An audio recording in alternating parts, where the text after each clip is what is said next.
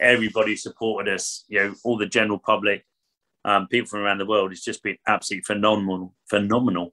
Um, you know, the love and compassion people have shown towards the staff is just, well, I, I still can't.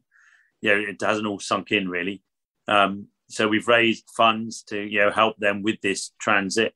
Um, and then when they actually do get out of Afghanistan, you know, resettling in the UK, um, I never knew it um, until we started all this, but apparently there's a shortage of veteran, you know, qualified veterinarians in the UK.